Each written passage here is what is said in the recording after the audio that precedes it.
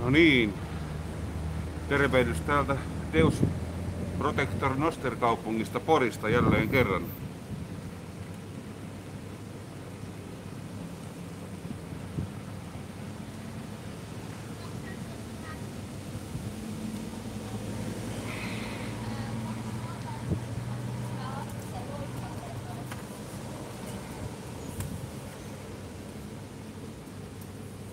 Morjesta Tikkala.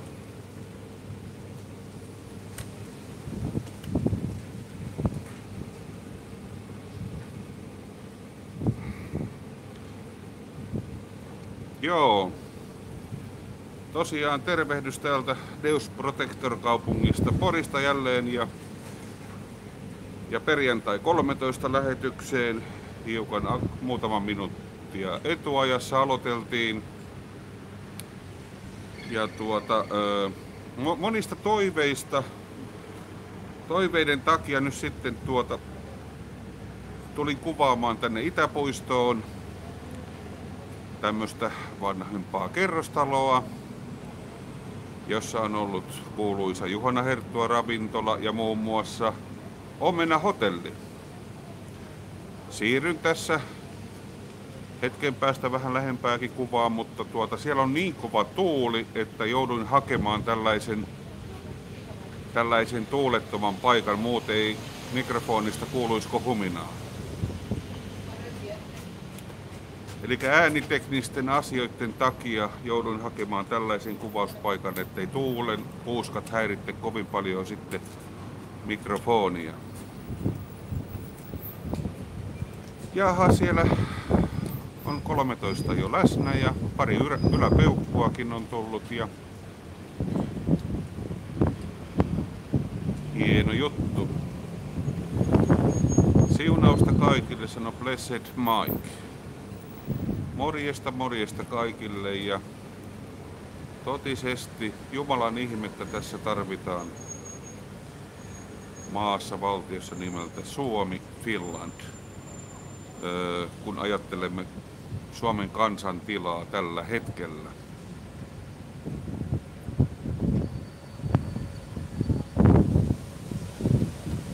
Kun tuo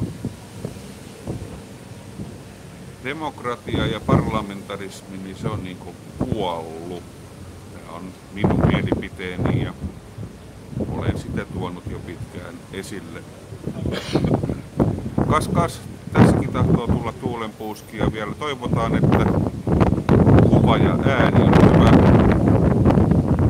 Kertokaapas nyt, ottaako tuo tuuli mikrofoniin paljon, että kuuluuko tämä minun puheeni täältä.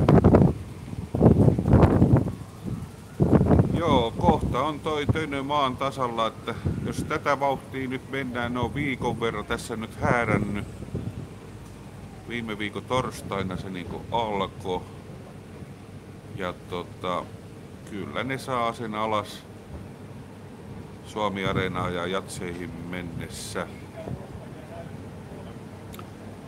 Yleisö tässä on aina oikeastaan katsomassa tätä talonpurkua oli, meni sitten milloin tahansa ohi, niin aina on joku katsomassa, välillä enemmän ja välillä vähemmän. Ja, ja tota, se on kiinnostavaa nähdä, kun tämmöinen kuitenkin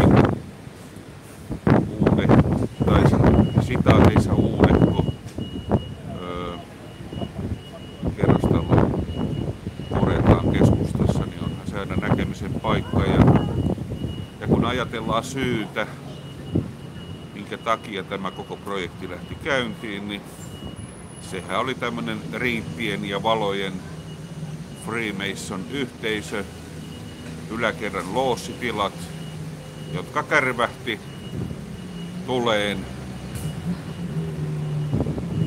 Ja tuota,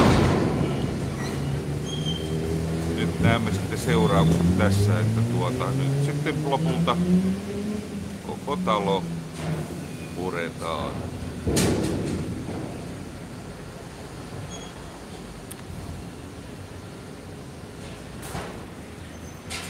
Ei tämä onneksi vielä niin pahalla mallilla ole kuin Ruotsi, mutta kyllä niin kovaa vauhtia nyt peräti perässä tuota meidän ö, esivallan tietty johto tähän pyrkii.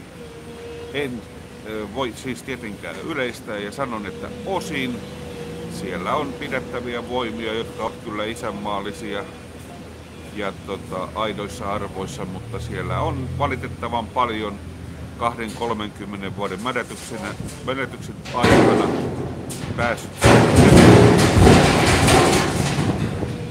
päässyt sellaisia ihmisiä ö, valtaan, jotka ei ajattele kansan etua, vaan ajattelevat globalismin ja tietyn eliitin etua kansa hyljeten suoranaisella maanpetoksella.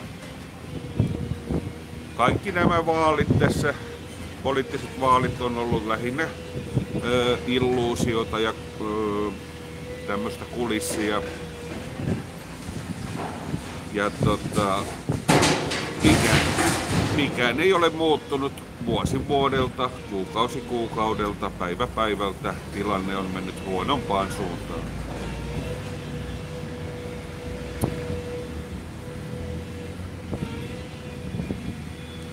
Joo, nyt mä voisin ottaa vähän lähikuvaa tuolta teille hetken ajan. Näette pu- purkutilanteen, mikä on purkutilanne nyt tänään.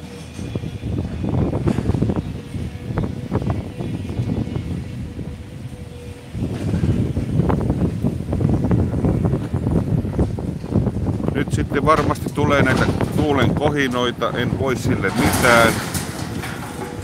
Sen sain selville, että tuo öö, niin sanottu kerrostalon yläkerran purkaminen on tän, tältä päivältä suoritettu loppuun, että tässä kuulemma nyt näitä jätteitä tyhjennetään maasta pari lavallista ja päivää on sitten pulkassa siinä. Eli kovin aikaisten perjantaipäivä sitten loppuu.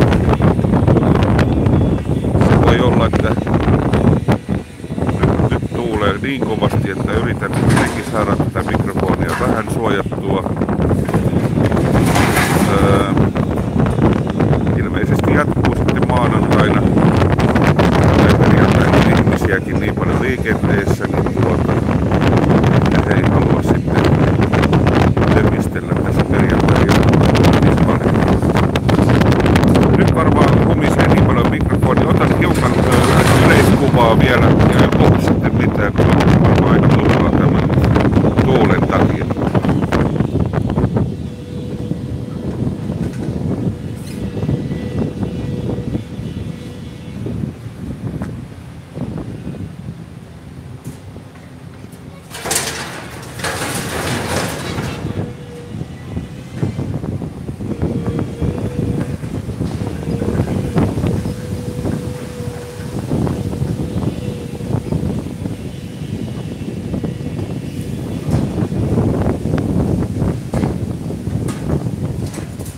On täällä, muita, täällä muitakin kuvaajia, kuten näette. Useampia olen nähnyt jo.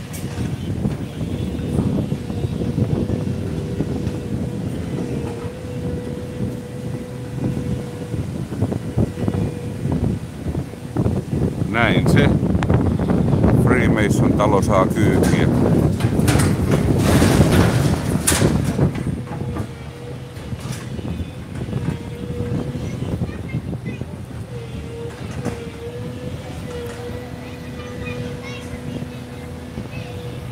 Juttelin tuossa yhden työntekijän kanssa,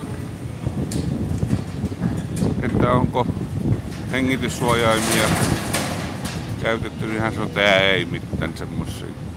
Sitten mä sanoin, että jos, olisi, jos on kuule asbestivaaraa, niin no, se näkee sitten pari 30 vuoden päästä. Se oli toteamus. Niin se voi olla, jos tuota asbestia tuolla on.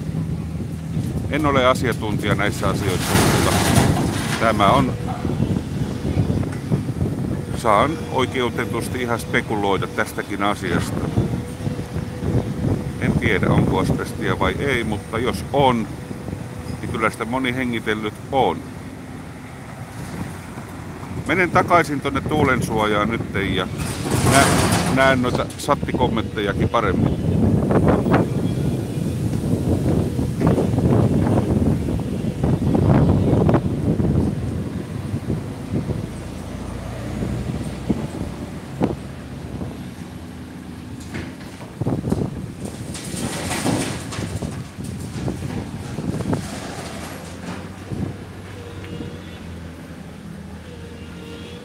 Noin.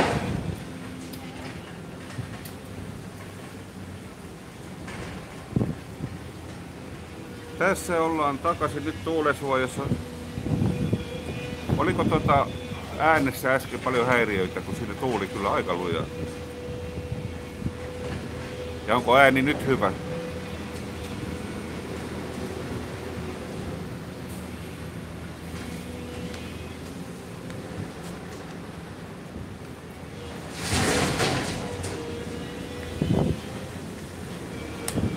Eli kaikki ok, selvä. Sitten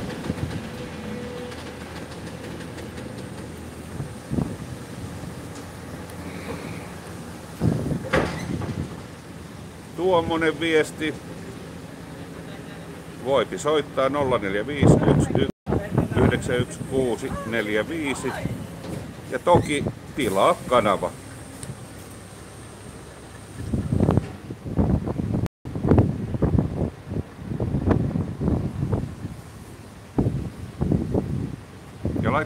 Tuo numero silloin tällöin sattihin näkyviin sitten kansia. No eihän Impivaara multa mitään ilmoituksia tuu tietenkään enää, että tässä on ollut niin paljon vaikeuksia kotitietokoneiden kanssa ja joka sektorilla, että en tiedä mihin tämä Suomi on menossa.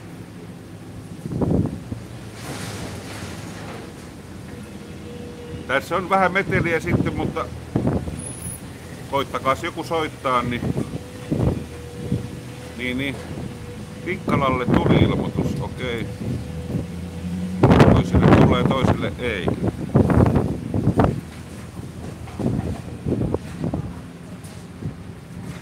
Se on sinne mielenkiintoista tietää, onnistuuko tämmöisessä metelitaso on vähän isompi, niin onnistuuko tämmöinen superinteraktiivisuus, että joku vielä soittaisi lähetyksiä rohkeasti nyt sitten vaan linjoille. Puhelin on täällä päällä kyllä.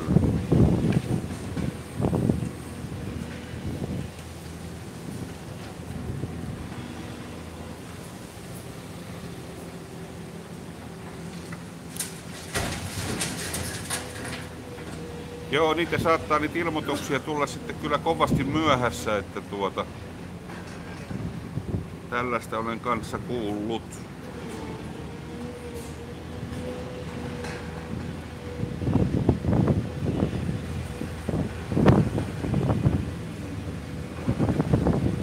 pitäisikö mun ruveta haastattelee porilaisia, kun tässä menee ohi, niin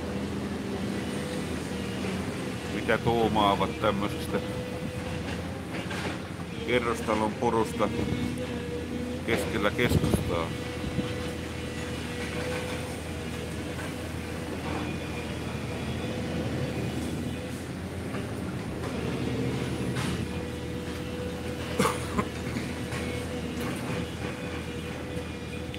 Neljätoista läsnä. Ja tota, kymmenen yläpeukkua. Tää on nyt sitten 16. perjantai 13 lähetys ja, ja, ja kyllä tässä vähän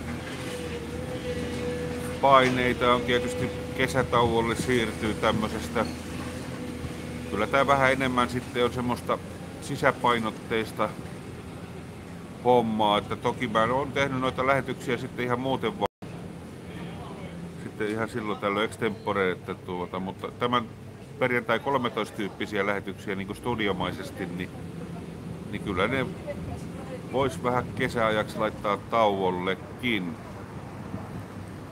Sitten syksyllä taas kun ilma kylmenee, niin se on sitten vähän enemmän se studiohomma sitten siellä lämpöisessä kivempaa. Tällaista harjoittelevaa Studio hommaa. Red Eye Studio juttua sitaateissa.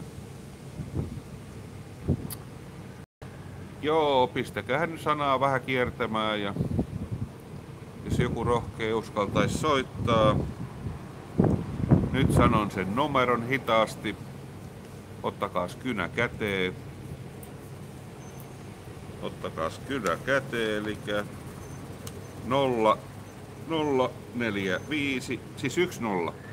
Aloitetaan alusta. 0, 4, 5, 1, 1, 9, 1, 6, 4, 5.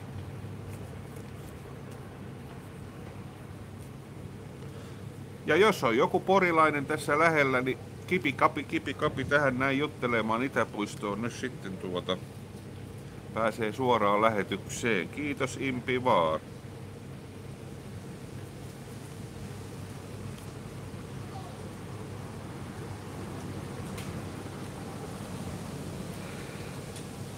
Ihan porilainen, ettei porilainen sinapilla ja sipulilla siis, hehe. Niin, jos joku nyt on tässä lähellä, niin tuota, ei muuta kuin kenkää tossuu jalkaa ja tähän näin Itäpuistoon nytten tuota, paikan tiedätte varmasti, jos porilaisia paikallisia ootte. Itäpuiston pääty.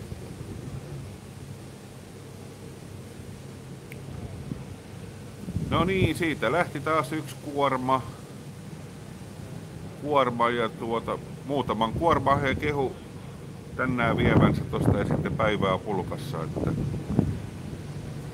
Jaha, Arto, soitas nyt, kuule, saadaan vähän Arton ääntä lähetykseen, jos linjat toimis tällä kertaa hyvin, niin tuota, täällä on kännykkävalmius ja numerokin siellä satissa näkyy pikkasen matkaa taaksepäin. Impivaara just laittoi puhelinnumeron sinne.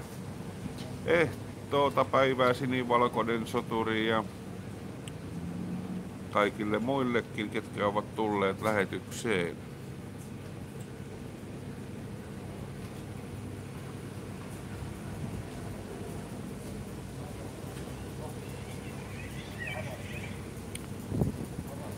Kuten näette, kyllä tässä ihmiset pysähtyy aina kattelemaan, että mitä ihmettä. Mitä ihmettä täällä tapahtuu?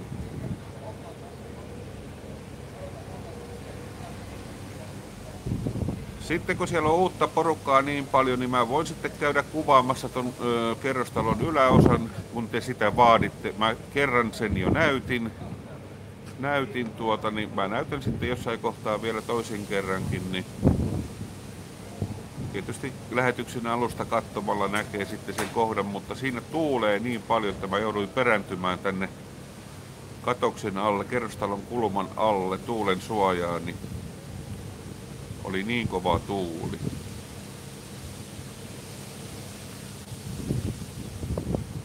Joo. No niin, soittoja rohkeasti tänne vaan. Nyt numero on Pitääkö se nyt vielä kerran sanoa? Ylä käteen. 045 11 91 645.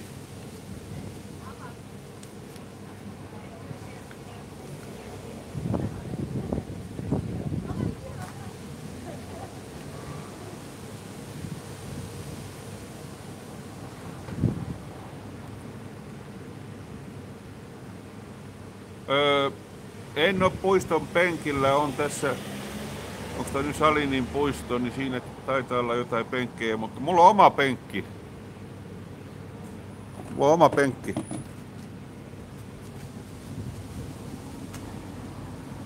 Aurinkotuoli. Tämmöisiä hommia täytyy varautua, kun ei sitä tiedä kuinka kauan tämä lähetys kestää. Niin saa sitten istahdella tässä ja jutella teidän kanssa.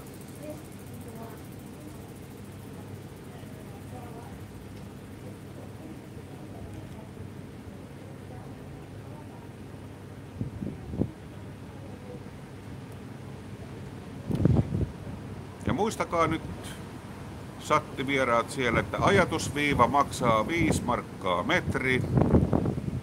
kommentoikaa, ehdottakaa, soittakaa, tehkää voltti, kaikkea mahdollista. Aidon, tota, siis meidän isänmaa ja lasten lastemme tulevaisuuden eteen niin kannattaa toimia. Rauhanomaisesti asiallisesti tuoda informaatiota kansan kuuluviin, näkyviin, mitä täällä oikeasti Porissa ja Suomessa tapahtuu.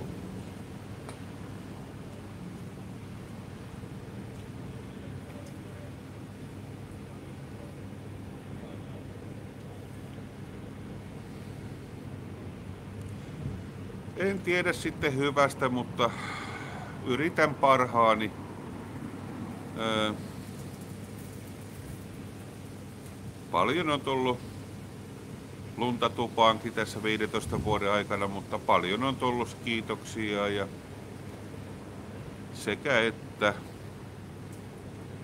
öö, niin, parhaani teen. Siinä se. Kukaan ei ole täydellinen ja ne on huomannut monta, monta kertaa tässä vi, 15 vuoden aikana, että kaikille ei voi olla mieliksi.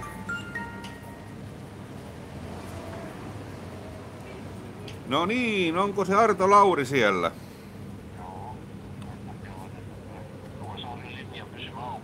Kokeillaan nyt ja, ja mä yritän mennä tähän mikrofonin viereen ja ihmiset kommentoikaa nyt satissa kuuluuko Arton ääni. Ja ole hyvä Arto, mites uusimmat kuulumiset?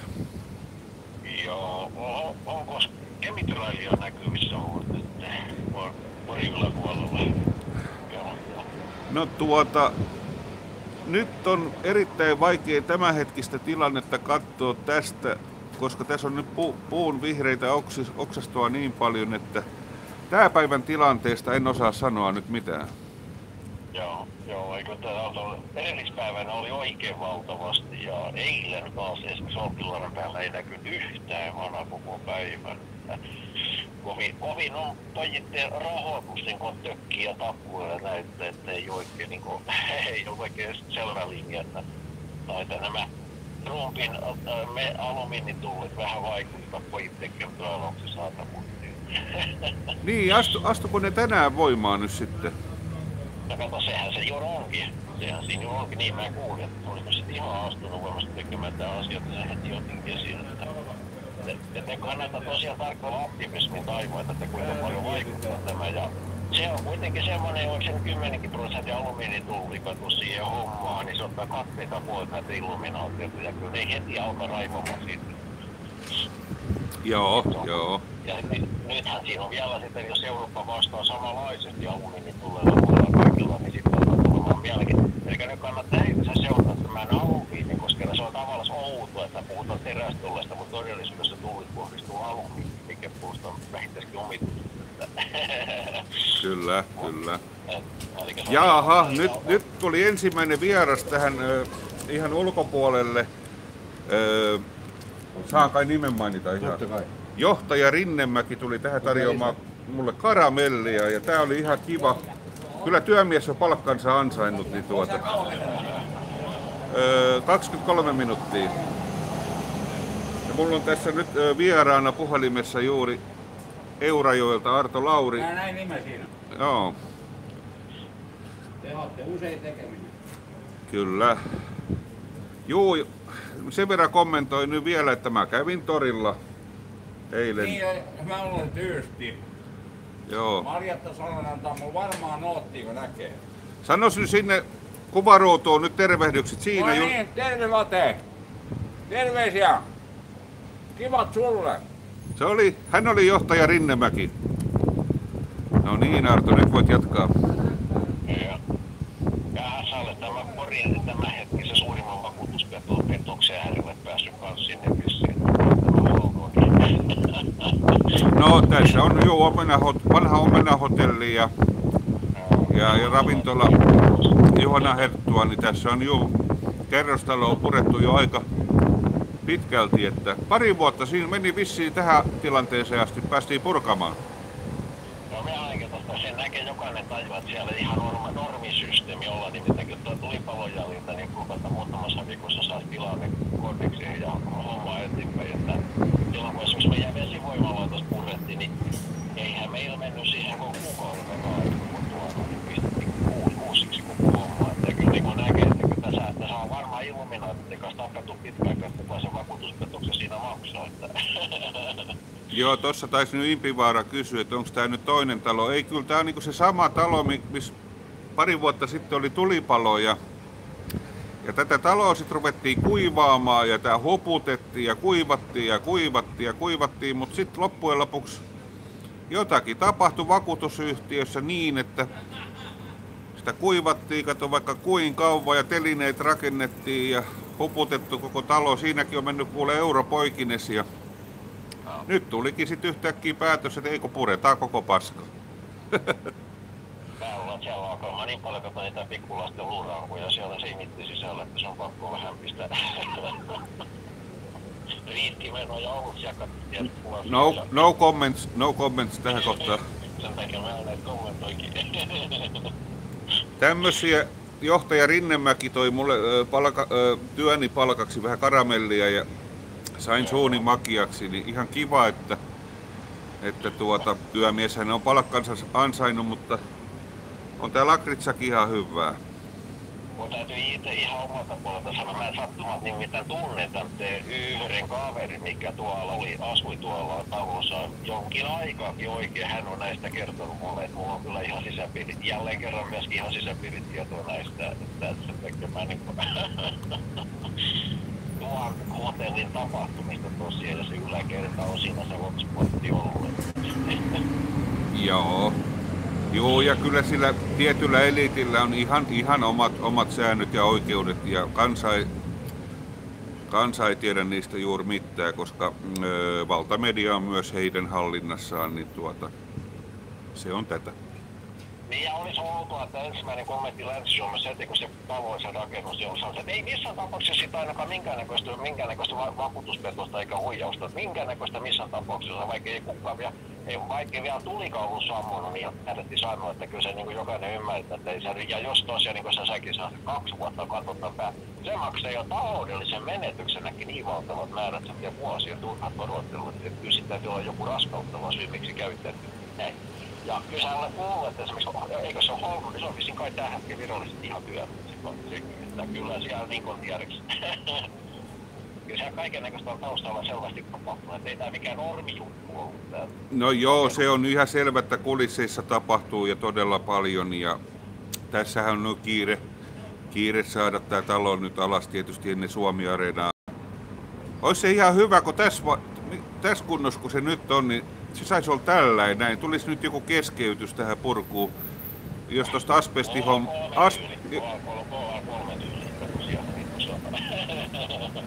Jos tuosta asbestihommasta saisi katsoa vaikka jonkun keskeytyksen, niin tämä olisi katso Pori Jatseilla ja Suomi Areena aikaa niin tota, yksi öö, suosituin katselukohde ja, ja kansa virtaisi tänne tiedäkseen kaupungista töllöttämään tätä taloa. Blessas Mike kirjoittaa, jaha, heti katkesi netti, kun Arto alkoi puhumaan. Eli kyllä se todella on tätä. Mä, mä juuri sanoisin, että mulla on tässä kevään mitta, niin mulla on niin kolmas kamera esimerkiksi menossa ja sitten on tosiaan tehty kolme hyökkäystä sinne ja aurinkovoimalla se ja sitä kuvattiin. Ja kyllä täällä on niin säpinä täällä meikäläisenkin puolella ollut, että, että tuo, ei tarvitse niin kuin sanoa, että sattuu, sattuu vaan nimenomaan ihan tietoista työskentelee. Nyt on sitten hyvin laajasti tutuilta monelta suunnalta tietokoneita kaatuu, kännyköitä kaatuu, kaiken näköisiä semmoisia ihmeellisiä teknisiä ongelmia alkaa oikein paljon joka, joka suunnasta tulemaan. Ja sitten on sama juttu puhelin Voi mennä. Kyllä, juu, näitä teknisiä ongelmia nyt on ruvennut olemaan. Valit, valita nyt, välillä kuuluu kovia pamahduksia, kun siellä ruvettiin lastaamaan tota rakennus kerrostalojätettä, niin tuota, en voi sille nyt mitään sitten, mutta koittakaa kestää nyt sitten. Eihän sinkkaista ollut todellisuudessa tuossa rakennuksesta, mutta yksi kerros. vaan. Et eikö se ole mäkä ehjä talo? No, en mä tiedä, kyllä sitä no ainakin kuivatettiin niin paljon, että kyllä se piti, piti olemaan kuivakin sit jo, että tuo... Ei siinä talossa mitään vikaa niin kuin sinänsä ollut. Tää nyt on uusimpia taloja, mitä ikänä Porissa on varmaan keskustassa purettu. Joo, ja kivitalo ja kaikin puolin tuolla. Niin. Että tota... Jos siellä on tullut vakuutusyhtiössä niin hyvä tarjous, en nyt enempää sitä kommentoi, mutta tuota, Joo. jos on ihan ollut pakko, tiedätkö, ottaa niin kuin vastaan, niin joo. Tää on sitä, en mä nyt kommentoi sitä enempää. Joo. Kovaa meininki, kovaa meininki. Oliko se muuten huomannut tää systeemi, että nyt kato, kun Suomeen tehtiin näitä ensimmäisiä, näitä markkinaehtoisia tuulipuistoja, niin on yhtäkkiä, kun tämä koko tuulivoimakeskustelu on romahtanut siihen paikkaan, kato, yhtäkkiä ei ole kiinnosta ketään enää sen jälkeen. En tiedä, nyt, nyt meni vähän ohi, mä en kuule, kun tässä on niin kova meteli, mutta mites tuo Ari Korva tonne kommentoi, että jos Supo Kuse ja Arto Lauri juhannuskokko on, vai näinkö mä oikein? Katsos vähän niitä kommentteja. Joo, eikö tää on mielenkiintoista, että kun tuulivoimalla oli sitten ensimmäinen markkinaehtoinen Mä- Wärtsilä sanoi, että, että tämä tulee mullistamaan koko energiamaailman, niin keskustelu lupasi juu siihen paikkaan, kun pomot alkavat puhumaan, että ydinvoimalla ei ole mitään jatkuvuutta enää.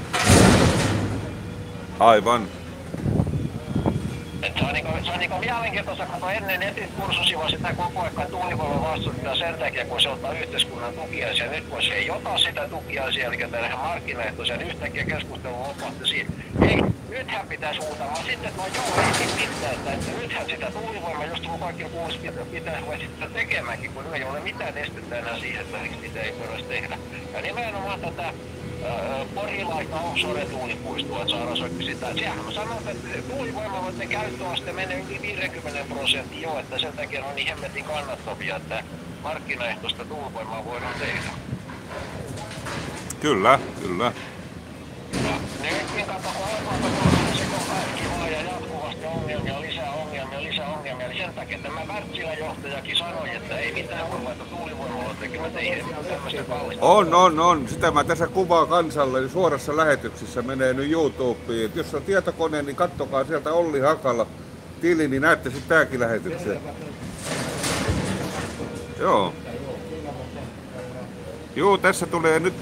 vähän yleisöäkin kommentoimaan väliin. Tää on niin mielenkiintoista.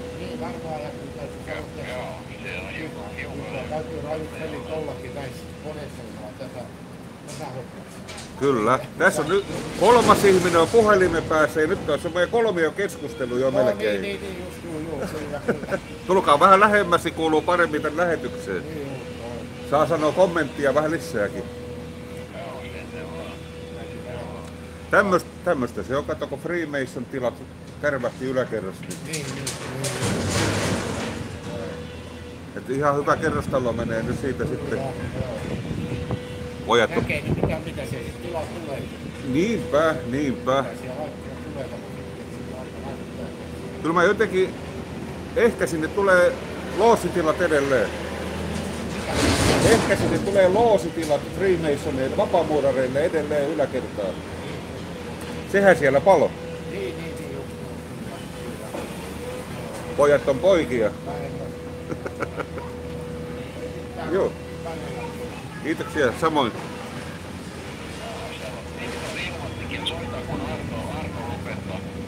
Joo, siis niin ihmisiä seuraamaan tota taivaan tilannetta. Tosiaan näkee, että kun tämä Trumpin tämä, alumiinitullit ja nämä Euroopan vastatullit ja muut alkaa vaikuttamaan tähän chemtrailostempoon, että siinä on vähän viitteitä siellä, se, se vaikuttaa kyllä suoraan. Joo. Täällä on sinivalkoinen soturi, en ole sille noita energiajuttuja seurannut, mutta kumpi on todettu edullisemmaksi energiamuodosta tuulivoima vai tietääkö Arto? Siis tuulivoima on kahdeksan kertaa halvempaa kuin ydinvoima ja aurinkovoima. Siis aurinkovoima ja tuulivoima myydään 1,5 sentti pörssissä ja ydinvoiman takuhinta taso on tällä hetkellä 11 senttiä kilowattituntia. Eli se on kahdeksan kertaa kalliimpaa ydinvoima. Ja sen takia esimerkiksi just tämä Wärtsilän pääjohtajakin sanoi, että että koko tämä energiapaletti on menossa täysin uusiksi juuri sen takia. Ne, nyt just sen jälkeen, kun pystyttiin tekemään markkinaehtoisia ensimmäisiä tuulivoimaloita, niin niillä ei ole niinku enää minkäännäköistä Mä tuossa aika lohduttomasti kattelin esimerkiksi just tätä nimeltä mainitsemaan tuota porilaisen naisen kommentointia, kun hän, en viitti nimeä sen enempää, mutta va- vaaleva tukka niin, äh, niin kuin Ollikin tietä. Ja hän sanoi, että hän ihan henkilökohtaisesti tätä Lin- Linkolan tyyliä, kun Linkola on sanonut sitä, että, että johtajat tarvitsisi tappaa ja kansaa vähentää kymmenen teossa. Että Mä olen, mä olen henkilökohtaisesti aika tavasku kerrottu tästä kommentista. Se oli tää viimeinen, tää yhä liike, kun mä pistin kannattaa ihmiset tekemään. Kerros nyt vähän sinivalkoiselle soturille vielä vesivoimastakin, kun teillä on semmonen ihan oma. Joo, siis vesivoima on verrattavissa tuuli- ja aurinkovoima siinä mielessä, että tuo, no, niin, sielläkään ei sähkön hinta ole kuin puolitoista senttiä kilowattituntiin. Ja nimenomaan vanha vesivoimala. Mm, siellä on Toivottavasti ja siellä on sitten poistettukin. poistettukin kommentti. Nyt se tuli takaisin. Ari Korva, Ari Korva kysyi, myydäänkö Olkiluodon sähkö kotitalouksille. Ari Korva ei myydä. Suomen laki määrittelee, tästä on Kiuri tehnyt kysely eduskunnassa, Suomen laki määrittelee sillä, että ydinvoimaa ei saa missään tilanteessa koskaan myydä yksityisille ihmiselle. Jos TVO tai Fennovoima myyvät, niin ne syyllistyvät ankaran kova veropetokseen ja tulevat valtavat sanktiotulit. Ja se on suora määritelty IAEAn ydinturvalaissa, että Suomessa ja maailmassa ei saa olla yksityistä ydinvoimaa. Eli ydinvoima pakko myydään aina niin kuin, ikään kuin niin se, kaikki sähkö, mitä ydinvoimalla tehdään, niin se menee ensin tuonne Pohjois, Pohjoismaiden pörssiin ja sieltä kautta se ostetaan takaisin. Ydinvoimayhtiöt ei edes itse malta käyttää sitä, se on niin paljon kallista. Se on, niin- se on niin paljon kallista se ydinsähkö, että sitä ei käytä kukaan. Sen takia se kierrätetään ja pakko myydä sillä niin kuin ikään kuin muiden kylkiäisinä. Eli se on nostamassa sähköhintaa hirveästi siellä taustalla, mutta erikseen sitä ei Suomessa saa myydä. Siis niin kuin nämä suomalaiset ydinyhtiöt ei saa myydä. Sitten kun se on varmaa merkattu ja se kieltää Keimansaarien tilien kautta, niin esimerkiksi taas Vattenfallin ydinsähköä saa Suomessa ostaa, mutta nimenomaan suomalaiset sähkö, ydinsähkön myönti on kovasti lailla kielletty, mutta niin kuin moninkertaisella lakipykälällä. Yksityiset ei sitä saa koskaan ostaa. Ja sitten just esimerkiksi niin kuin Olkiluodossa aina sanoo, että ydinsähköllä ei koskaan yhtään omakotitaloon 40 vuoden aikana. Kyllä. Tässä on Ari Korva, Alfa TV antoi väärää tietoa 20, en tiedä tarkemmin mitä, mitä tietoa siellä on mahdettu sitten antaa. Tämä on kumminkin semmoinen tyypillinen juttu, että tätä, myy- siis eh, siinä täytyy tosiaan tietää tämä asetelma, että kun se on hankkala systeemillä myydään se ydinsähkö, niin siinä on niin ehdoton määräys, että jos sitä myydään yksityiselle, niin siinä tulee valtavat verosanktiot, eli se estetään jo ihan tällainen siis juridisesti. Oikein, oikein. Ja saa tulla kommentoimaakin tähän, jos tykkää. Menee suoraan lähetykseen.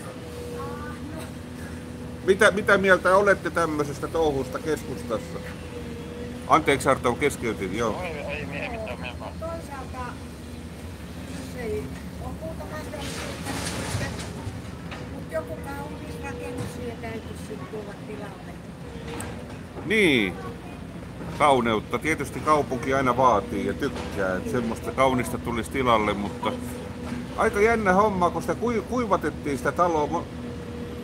Pari vuotta tämä on nyt kestänyt tämä projekti ja nyt yksi, kaksi sitten otetaan huputukset ja kuivaukset pois ja ei, kun puretaan sittenkin.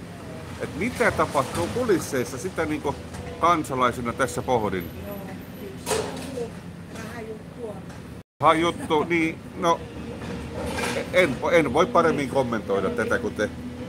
Kiitoksia. No niin, eli kyllä tässä tulee näitä mie, mie, kommentointeja mu, muiltakin sitten, että tuota, jotakin ehkä rahan kanssa tekemisissä ollaan. Joo, jatka vaan Arto. Joo, ja sitten täytyy sen sanoa, mä kattelin näitä Iljan tilanteita tuossa eilen aika paljon. Siellä on jotenkin, siellä on peruttu kuulemma niitä, niitä äh, rajuimpia syytteitä joku Joo. aika paljon. Ja tää oli tää Korhonenkin oli sitä mieltä, että se, se ilmeisesti se tilanne. Eli siellä alkaa kato vaikuttamaan tämä, että kun pidätys tehtiin sitten kun siellä on Vekki, siellä Viaparissa, niin tosiaan mekin on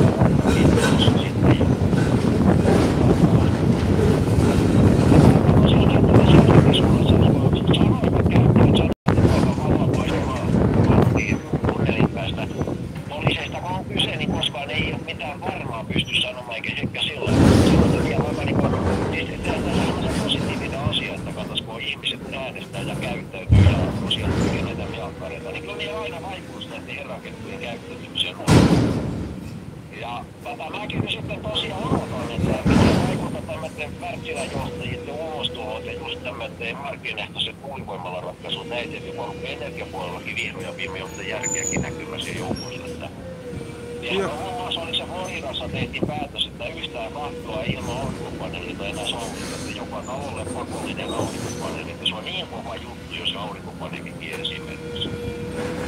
Kyllä, kyllä. Ja joo, nytkin täytyy sanoa, että jos tämä kuukausi, niin tässä on käytännössä voi sanoa 25 päivää putkeen aurinkopaneeli. Ja on yli 10 000 kilowattituntia kuukaudessa sähköä ilmasta puhdasta ekologista aurinkosähköä. Että kyllä se niin ihan syntiä sääli on, että tätä hommaa ei niin kuin Suomessakin oikein kunnolla ajamaan. Joo, Viktor on tosiaan sanonut, että kun, kun mä opetan, niin hän voi soittaa sulle. Mä, mä annoin Viktorille sitten tosiaan mahdollisuudet, jos ne vaan soittaisi, niin tuota mennä vaan. Että okei. Ja tässä on nyt semmonen tilanne, että tässä on niin paljon ääni, äänimelua nyt, että mä niinku... Tää on vähän hankalaa. Toivotaan, että sun Arto ääni on kuulunut sinne lähetykseen, mutta kaivinkone rupesi tuossa riehomaan ja vetelee noita kärryjä tai noita lavoja tuossa kauhea ääni koko ajan. Mä en kuulu juuri mitään, mutta tää on tämmöstä perjantai-fiilistelyä. Ne oikein kuskisi, kuskisia oikein melttoon.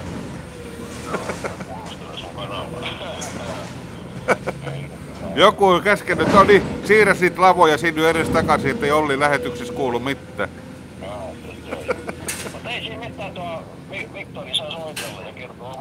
Joo, ja nyt tota, uusille katsojille mä näytän, öö, nyt kun tää Arton puhelu loppuu, niin ja oikein hyvät viikonloput Arto sinne ja, ja mä käyn näyttämässä tota rakennusta nyt sitten. Mä en puhu paljon mitään, kun siellä tuulee niin paljon kuitenkin, niin mä näytän vilauksella ton talon yläosa ja sitten mä palaan tähän ja sitten voi Viktori soittaa.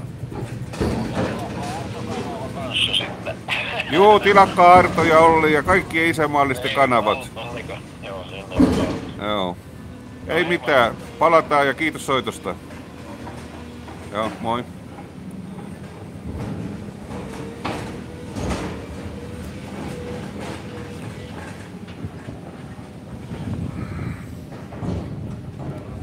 No niin, sitten pienet näkymät täältä talosta nyt sitten, minkälaista jälkeä sinne on viikon aikana saatu.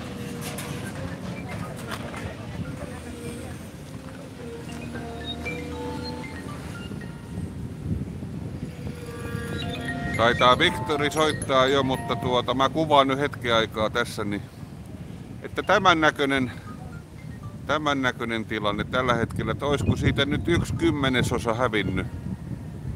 Yksi kymmenesosa taloa lähtenyt. Tää on mun arvioni.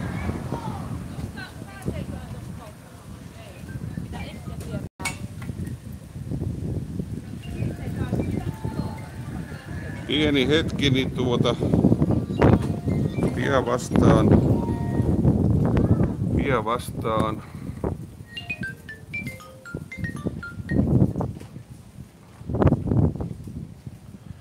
No niin, olet suorassa lähetyksessä. Kuka soittaa? No, Viktor Pakalaari tässä terve. No tervehdys. Öö, Minähän olen... Öö, soitan tästä te- teidän keskustanne ympäristörikoksesta. Joo, mä oon seurannut kirjoitteluasi, kyllä. Ja Joo, se, sen ver... katson sitä äh, videota si- siitä purkutyöstä ja, ja suorastaan järkytyin. Okei. Minähän olen rakennusalan ammattilainen monenkymmenen vuoden ajalta. Ja Oma yritys mulla on ollut 35 vuotta. Kyllä, joo, okei. Juu, sen, sen verran mä haluan nyt Viktor kommentoida, että kun siinä laitoit, että jos on niin kunnanvaltuustossa, mutta sinne asti minä en ole vielä päässyt, että tuota, tässä on käynyt niin monet selkäpuukot, vaikka politiikassa olenkin, niin tietysti kuntalaisaloitteita pystyisin tekemään asiasta, mutta jos mä nyt oikein ymmärsin, niin olette tästä, tästä tapauksesta jotain tehnyt itse jopa. Kyllä, kyllä vaan minä olen äh, lähettänyt äh, Porin kaupungin ympäristövirastoon tästä ilmoituksen kautta selvityspyynnön ja samaten sinne ympäristöministeriön rakennetun ympäristön osastoon. Olen lähettänyt selvityspyynnön maanantaina. Okei, Vasta- joo. vastauksia ei ole tullut ja, ja uskonkin, että tämä purkutyö saatetaan loppuun ennen kuin, ennen kuin mitään vastauksia suostuvat antamaan. Niin, niin se voi tässä tapauksessa varmaankin mennä. Joo, mä olen täysin varma siitä, että, että ö, tässä rakennuksessa on asbestia paljonkin vielä jäljellä. Rakennusvirasto tulee tosi väittämään, että kaikki ö, ennalta ehkäisevät purkutyöt on jo suoritettu. No sillä mullekin tänään tässä sanottiin, juttelin pienen hetken erään, erään tota, rakennustyömiehen kanssa. Nämä ö, sisäseinätasoitteet, lattiatasoitteet, laattojen kiinnitysmateriaalit, sisäkattotasoitteet, ö, vesikaton eristeet, ö, julkisivun rappausmateriaalit. Kaikki nämä sisältävät asbestia. Joo, tällä mä oon nyt kuullut, mulla on tässä nyt kerrottu sitten vähän, vähän niin kuin ohi, mä oon tätä pikkuhiljaa tieto lisääntynyt tällä sektorilla ja tämmöistä on kyllä tosiaan kerrottu minullekin, että mä en ole itse asiantuntija kyllä näissä asioissa yhtään. Minä, minä olen. Niin, Ja tämä, on- tämä on järkyttävää toimintaa, mitä Porin kaupunki nyt tekee. Tässä haisee korruptio ja suuri raha. joo. Kyllä sanotaan näin, että silloin kun mä e, ensimmäistä videota viime torstaina tein, ja vaikka sitä kasteltiin sen purkukoneen yläosassa, siellä oli vesitykki ja alhaalta ruiskutettiin vettä, niin täällä pöllys kyllä niin paljon, että mä lähdin pois. Ja mulla tuli itsellä semmoinen olo, että jos, jos sattumalta on asbestia, niin mä en ainakaan ota riskiä, mutta mä lähdin silloin pois. asukkaat ovat sanoneet, että heidän asuntonsa on täynnä pölyä. Joo,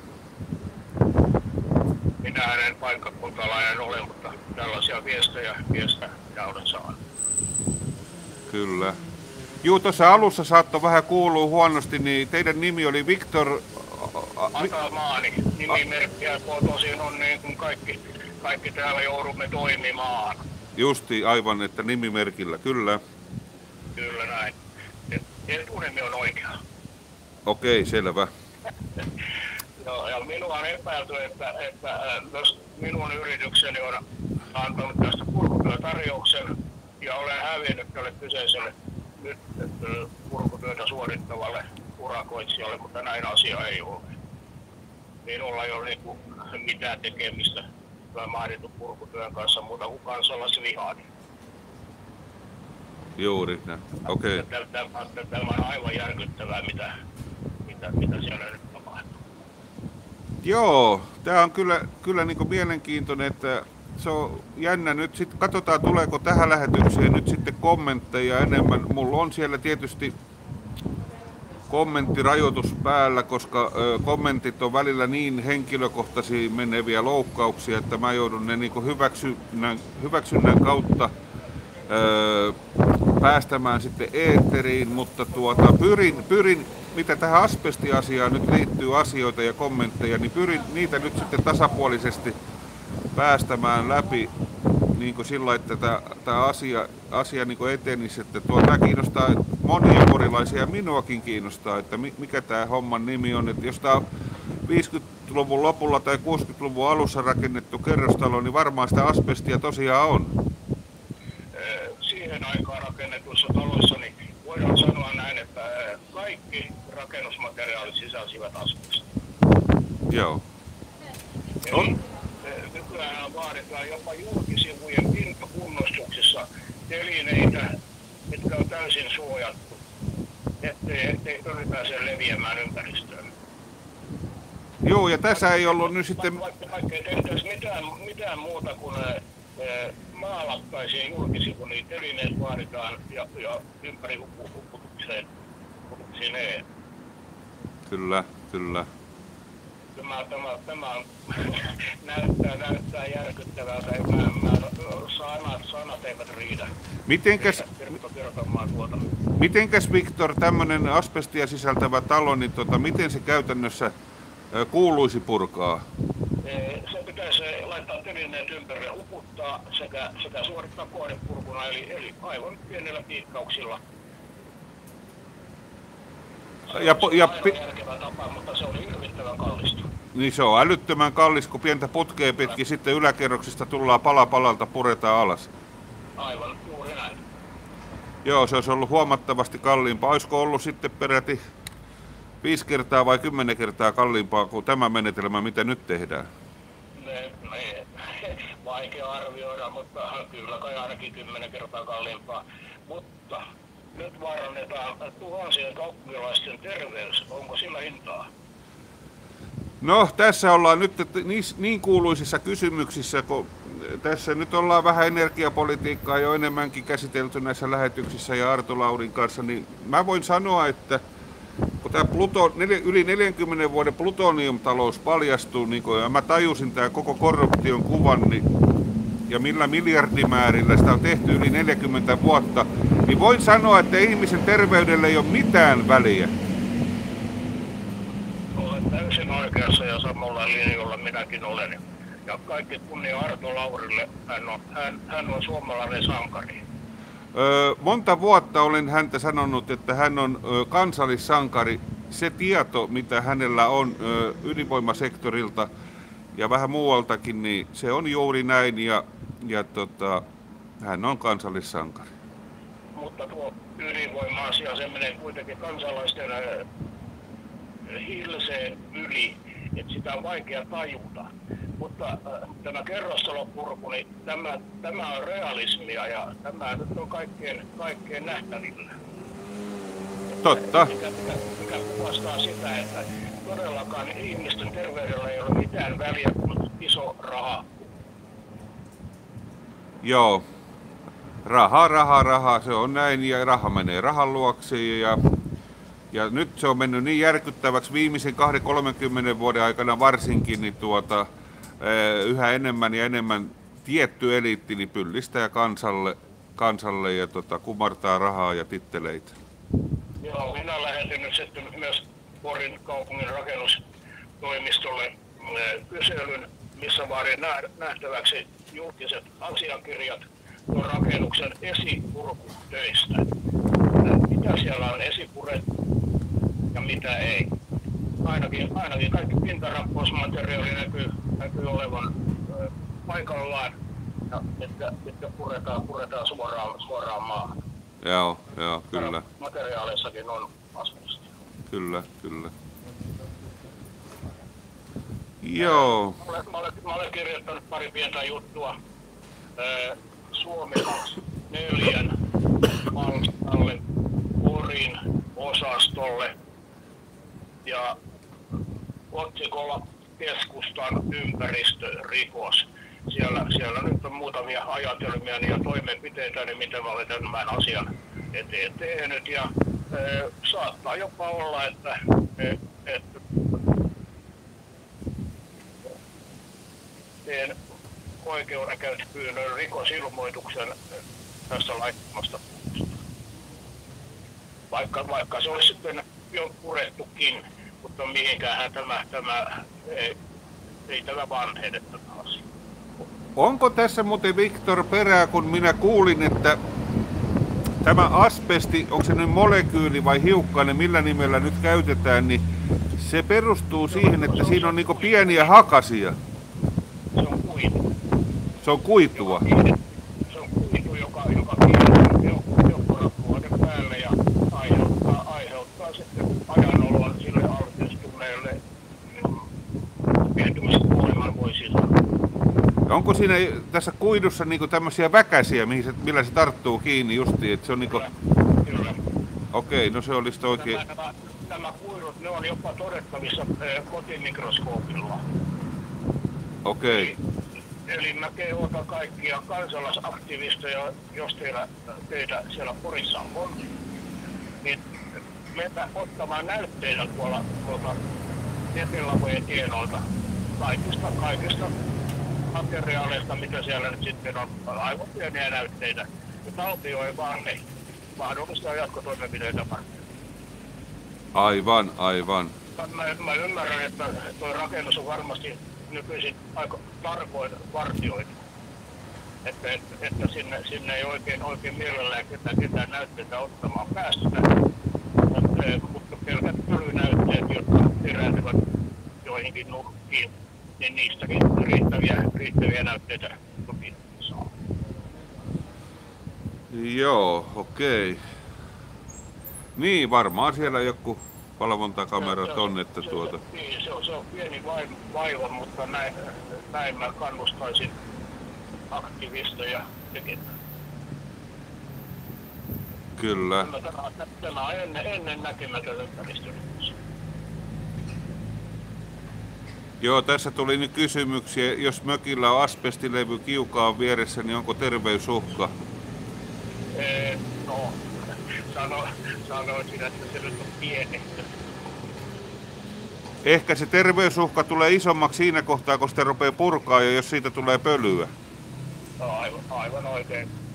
Toki minäkin näitä purkutöitä olen jo henkilökohtaisesti ollut, ollut suorittamassa nuorena poikana. Mutta kuitenkin kyllä minullakin on todettu, että asbesti joku Se ei kuitenkaan ei nyt normaali elämääni ole vaikuttanut, mutta sitä on, sitä, se ei koskaan tule pystyä. Mist, mistä tämä asbesti niin tota, alun perin, mistä sitä tuotettiin? Kuitua se oli, mutta miten, mistä, mistä sitä tehtiin tai valmistettiin? Jaha. Mitäköhän mä sanoisin? Mä ihan tarkkaan nyt osaa, osaa tähän, tähän hätään sanoa, mutta, mutta kokoamallahan nyt asbestista saa tietoa. Täältä tuli Impivaara totesi, että se on kiveä tai kivi, kivestä. Kyllä, kyllä, kyllä juuri, juuri, juurikin näin. Ja se tavallaan niin kuin äh, antaa lujuuden tietylle, tietylle ihmislaasteille ja, ja tämän tyyppisille rakennustuotteille. Esiintyy luonnossa sellaisena, mi- mikäs kivi on nyt semmoista sitten, että siinä on tuommoista kuitupitoista juttua, tämä onkin mielenkiintoista. No, sanotaanko näin, että kaikki, kaikki rakennusmateriaalit on tehty luonnontuotteista. Joo. Niin, niin, niin asbesti. Asbesti ei ole tarkoitettu, tarkoitettu Se on sitten vähän niin kuin, tai sanotaan plutoniumi 239 on jo vähän next leveli tästä asiasta. Semmoista ei luonnosta edes löydy, mutta se on ihmisen toiminnan, tuo, toiminnan tuloksena syntyvä aine. Sitäkään ei voi silmin todeta. Ei toki asbestiakään, mutta as- asbesti voi toki todeta aivan kotimikroskoopilla. Kyllä, kyllä. Selvä, Viktor. Oikein paljon kiitoksia näistä tiedoista ja onko sinulla vielä jotakin tähän asiaan liitty, liittyvää tai jotakin muuta mahdollisesti? No ei, mutta haluan kiittää sinua hienoista videoista ja isänmaallisesta asenteesta ja, ja erityisesti Laurille. Hän on avannut, avannut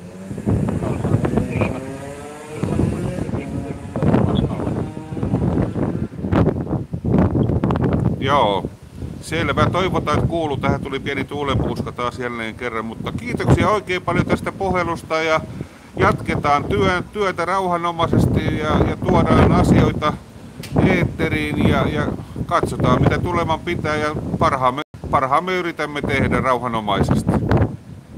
Kiitoksia, kiitoksia paljon ja hyvää päivän jatkoa. Kiitos samoin, hei.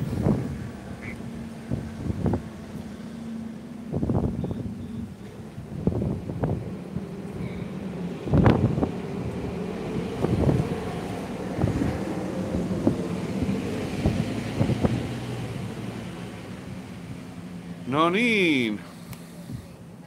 Sellainen puhelu tuli Viktor Atamaanilta, että tuota, ihan mielenkiintoista tietoa, että ei tuo asbesti ole minun, minun alaani lainkaan niin kuin siinä mielessä. Toki on kuullut siitä, kuullut siitä monet kerran, kerrat.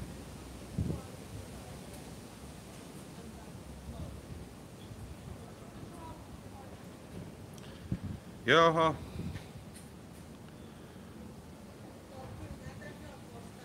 Täällä tuli tota tämmönen Tehkää yhteisohjelma Taisto Laakson kanssa. Nyt en taida Taisto, Taisto Laaksoa edes tuntee, mutta, mutta semmonen viesti tuli tekstarina.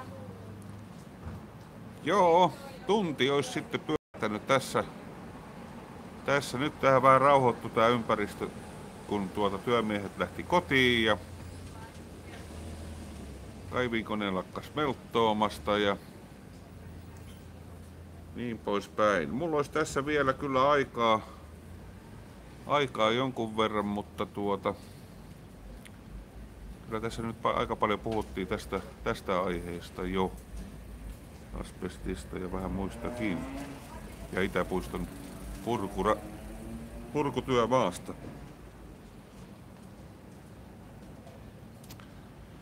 Joo, kommentoikaa nyt hyvät ihmiset oikein paljon ja, ja, ja mä pyrin tasapuolisesti, jos ei mene henkilöön ja tota, semmosia kunnianloukkausviestejä, ne, ne, ne, ne lähtee kyllä pääosin sitten aina tuonne pitkään varuuteen, niin, mutta semmoisia asiallisia ö, kommentteja ihan kumpaakin suuntaan nyt mitä tähän purkutyöhön ja asbestiin tulee ja toki ydinvoimasta ja isänmaallisuudesta ja kaikista näistä agendoista nyt, mikä monista kymmenistä agendoista, mitä nyt Suomen kansa on joutunut kokemaan viimeisen 2-30 vuoden aikana edentyvästi ja edentyvästi ja, ja, ja loppua kohden kiihtyvästi, varsinkin nyt. Ja kommentoikaa, välittäkää tätä videoa ja kanavaa ja muidenkin isänmaallisten vaikka Arto Laurin ja, ja, ja, ja kaikkien isänmaallisten kanavia välittäkää eteenpäin sellaisille ihmisille, jotka ovat valtamedian ja tämän tietyn eliitin illuusiossa ja vaikutuspiirin alasena edelleen. Ja, ja tota, moni luulee tietävänsä asioista, vaikka ne ei ole niin totta alkuunkaan. Ja, tämä on niin metka tämä kuvio, että se on moni, moni ei ymmärrä sitä, koska tämä illuusio on kestänyt niin kauan. Eli tässä on niin käynyt toteen se, että valhe on muutettu totuudeksi. Ja nyt on kamalinta se, että aito totuus pyritään muuttamaan valheeksi tai kielletyksi. Moikka, moikka Jukka ja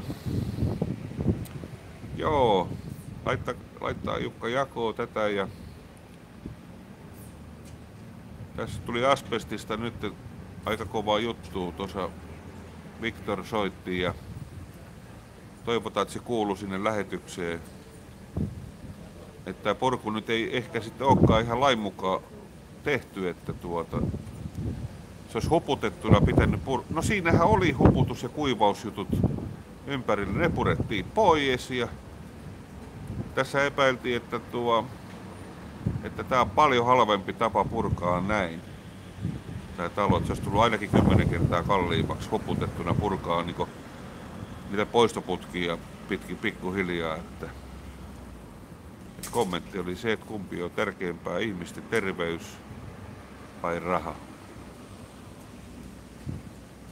Kuka on sitten semmoisen käskyn loppujen lopuksi painanut nappia ja tai kirjoittanut allekirjoituksen, että tämä oli niin Porin kaupungin kansalaisille turvallisin ratkaisu. Jos nyt huomioidaan tämä asia, että siellä on asbestia. Mihin lehteen menee? Oma, okei. Okay. No tässä vaan käy niin paljon kuvaajia, että mä en kysäse. Kun ei sitä tiedä, mihin lehteen menee. Tai mihin arkistoon. ja aivan, ihan hienoa tarkistoidaan, se on pääasia.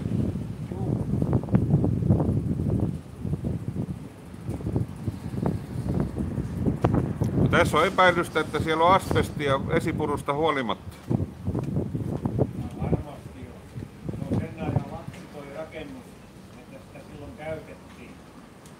Kyllä, no justi mulle soitettiin tähän näin suoraan lähetykseen ja sanottiin, että just näin on, mitä sanoit äsken.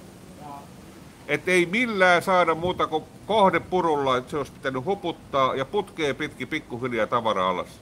joo, ja sitten pisti myös silmään, niin toukokuun alussa kaksi viikkoa oli sunnuntai, niin oli koko ajan porukka purkamassa. En tiedä mitä sieltä sisätilosta otettiin. Ja sitten vasta kun sisätilat oli purettu, niin sitten tuli nämä Joo, ja millaiset suojavermeet mahto pojilla olla, kun ne purki siellä sisällä? se mikä tuossa pisti silmään, kun ne välillä kävi tuossa ikkunassa tuossa omenahotellin ulostuloja jalottelemassa, niin ihan samanlaiset vermeet kuin normaalisti rakennusmiehellä, mutta en mä nähnyt kenelläkään mitä vastiin. Niinpä. Se pisti silmään. No niinpä, ja kyllä nyt hemmetti soikoo, mäkin tiedän asbestista sen verran. Mä olin torstaina tässä kuvaamassa. Mulla oli auto tuossa parkissa, tuossa talon vastapäätä niin kuin justiin. Ja se iso kone aloitti. Siellä meni kyllä letku sieltä koneen puomiin pitkin. Se, se oli vesisuihkutus koko ajan. Täysillä tuli vettä ja alhaalta vielä letkulla lisää. Mutta pölly silti niin paljon, että mä köhein itse ja oli pakko lähteä. Jos toi on asbestiin, nyt lähdetään.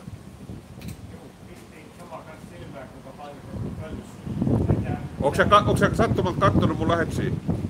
Olli Hakala YouTubesta löydät sitten. Ja saa pistää sanaa kiertämään, että jos, jos tässä on nyt asbestivaara, niin kyllä mä oon ihan pöyristynyt, mitä Porin kaupunki tekee, tai kuka tässä nyt takana sitten onkin. Että mä vähän luulen, että siellä on lusikkasopassa näin Freemason pojillakin.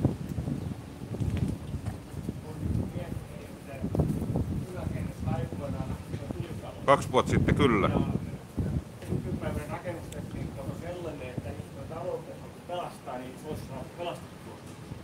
Kyllä. Varmasti. Kyllä. Jos oltaisiin heti saman tien, kun tulipalo on sammutettu, niin on tiukka kuivahto tekemään. Mutta kun kaksi vuotta pähkäillään, puretaanko vai ei, niin ei siinä tarvitse olla kello kolmesta tuntiakseen, että minkä takia, mistä on kysymys. Joo.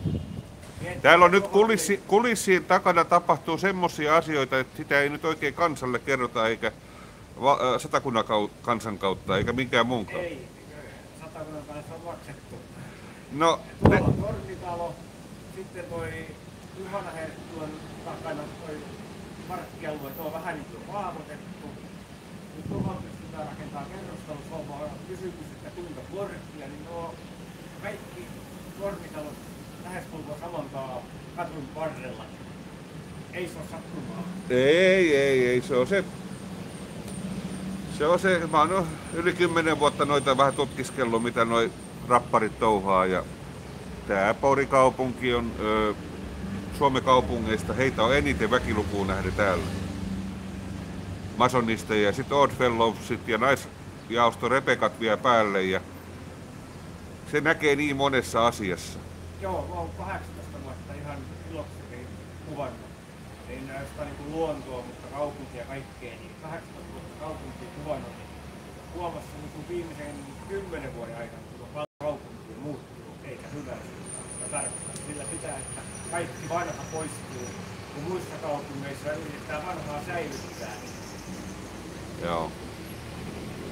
No nämä riitit ja valot niin, niin rajuja, että talot kärvää ja puretaan ja tässä, on niin paljon yksisuuntaista tässä keskustassa, niin Turunkin suhteen se on paljon parempi, kun voitaisiin saada koko kortteli toi pätkä niin kuin. Tuossa mennään nyt yksi käytössäkin, niin kyllä se haittaa. joo, Tuolla on Helsingin ympärillä. Joo. Siinä välillä suljetaan tuolla, kun isompia klönttejä putoo talosta, niin ne on, sen mä huomasin, että sitä välillä suljetaan tota yhtä väylää tuossa. Et siinä on vissiin vähän roiskahtanut tänne kadun puolellekin tavaraa jo, niin aika, aika touhua on. on pari kolme syksyä sitten niin kauppatorilla, niin kuvasin sellaisen kyltin, joku oli kyltiä ja pistänyt puuhun kiinni, niin kynteleitten pori ja kysymysmerkki. Se oli just siihen, kun alettiin tuolla äh, noita Etelärannan kiinteistöjä purkamaan. Joo, raha menee rahalloon ja kansanterveydestä ei välitetä hevon paskaa ja kansa omalle kan, porikin kansalle pyllistetään ja sitä se ahneus tekee. Joo. Rahan ahneus ja tittelien ahneus ja, Ja, ja tässä on montaa muutakin agendaa, agendaa sitten vielä, mitä on tapahtunut 2-30 vuoden aikana. Että tämä nyt oli semmoinen yksi mielenkiintoinen juttu Porin keskustassa ja on niillä kovaa kiire kuule saada se alas sinne Suomi-areenaan. On, ja sitten se on mielenkiintoinen, mitä tällainen kuvata, kun on yksi kaupungin ikoneita. Ensimmäisiä kunnon hotelleja ja muutenkin sellainen oma-aikansa lapsi. Ei tässä keskustassa enää vanhalla ole tuo kauppahallikortteja ja toisaalta sitten Radio Pori. Niin. Kyllä, kyllä. Toinen mielenkiintoinen on seurassa niin on se asuntomessualue. Että kun siinähän on ollut näitä telakka ja kaikkea telakkarakennusta toimintaa vuosikymmeniä, sotis, sotien jälkeen. Joo. Niin se mikä pisti silmää, kun iso pyörä lähti pyörimään ja siinä alkoi tulemaan sitä rakennushommaa, niin ei sieltä hiilipyörästä kaavittu pois. Miettii, että siellä on kaikki teollisuusmaalla käytetty ynnä muita ja öljy on varmasti valunut jossain vaiheessa maaperään. Hyvä, jos nopeasti katteli sitä kävi kuvailemassa, niin se on puoli metriä, ehkä metri otettiin pois. Eihän se riitä missään. Ja sinne sitten pistetään ihmisten kodit. Ei se ole mitään järkeä. Niin, niin. Täällä on tapahtunut niin paljon järjettömiä asioita. että Mäkin tässä seitsemän vuotta tosiaan politi- politiikassa ollut, mutta sitten kun vähän jotain niin kuin, aitoja asioita yritti ajaa, niin eihän mä, mulla on niin ove, tuli puukkoa selkää, että ei kunnallisvaaleihin asti edes ole päässyt kunnolla. Kyllä mä pari vuotta kävin Pori perussuomalaisissa tutustumassa ja se oli justiin sitä kun aikaa, kun Jytky oli ollut ja sitä moni ajatteli, että no nyt tuli semmoinen puolue, että nyt ruvetaan kansa-asioita tekemään. Ja kansa halu. Ei kun petos ja takikääntö. Soini petti kaikki. Tässä ollaan, mikä ei muuttu, muuttunut. Se mikä Porista on paljon positiivisia juttuja, mutta se mikä niin kuin negatiivista on, täällä on, on ö, päätökset on kauhean riitasta. Ja sitten sellaista, että tuntuu, että jokainen on omissa juoksuhaudoissa koko ajan ahistellaan ja miettii, että ollaan sen tämä maakunnan pääkaupunki, niin täytyisi vähän esimerkkiä näyttää, millä asiat hoidetaan. Et ei No näin. niinpä, niinpä. Ja satakunnan alue vielä, kun ajatellaan, jos mennään historiassa tommonen, mennään nyt vaikka tommonen 1500 vuotta taaksepäin. Oletko yhtään siihen puoleen tutustunut? Niin, Hyvin vähän sen. niin kuule, kyllä täällä, täällä tota, asu, asu, asukkaita on ollut silloinkin, ja Jokisuistoalue ja Lappi TL, ja täällä on näitä kuninkaanhautoja ja Juu, kaikkea kuule löytyy ja, ja kato, kun meillä on opetettu, että 1250 Ruotsin kautta tuli Ruottikuninkaan avustuksella tuli kristiusko, niin kuin katolilainen. Niin kuin tulikin kyllä, katolilainen, mutta täällä oli sitä ennen jo toisen puolen id- idän kautta tullut kristiuskokin jo ajat sitten. Mutta sitä ei opeteta, koska 600-700 vuotta oltiin Ruotti säätyvallan alla ja nämä kaikki halutaan salata. Ja sit, sitten tota, tämä viimeinen sata vuotta, niin tämä Suomen valtio, niin kyllä se ihan alusta asti tämä Freemason-kulttuuri täällä laitettiin alulle ja se on aika hyvin kehittynyt. Heitä on täällä 7000 jo lossikavereita ja ne on soluttautunut kaikkiin tärke, strategisesti tärkeisiin kohteisiin. Ja yksi, yksi lopputulos on nähtävissä tässä. Kyllä sen takia asiat ikinä muutu. Tai Niin. jos muuttuu, niin se on todella vaikea. Se on, suora, se on suorastaan sitten Jumalan ihme, mä sanon sen suoraan. Että tuo demokratia ja, ja, ja parlamentarismi, niin mä oon sitä nähnyt niin paljon, että se on kuollut. Nyt, se on, nyt varsinkin se on kuolleessa tilassa. Jos sitähän nyt oli jossain tuossa 70-80-luvulla enemmän, kun Suomi oli niin kokonaiskuvallisesti ajateltuna parhaimmillaan. Mutta nyt tämä päivä 2018, niin eihän täällä omalla kansalla enää mitään. Koko ajan viedään pois ja elinmahdollisuudet tuhotaan, niin kyllähän se nyt ihan ihmiset äänestää jo jaloillaan monessa asiassa ja sitten perheet ei halua lapsia ja Joo. ei ole töitä, 600 000 työtöntä ja tornioväki tulee sieltä ja lampsii kaikesta ohi, oma kansa. Mä käytän termiä torniolaiset. No ei tiedä enää mitä sanaa saa käyttää, kato kun joutuu kuulusteluihin vihapuheesta. Tarkkana saat olla. Hyvä, ota kuvia ja mä luulen, että mä rupean lopettelemaan lähetystä tässä pikkuhiljaa.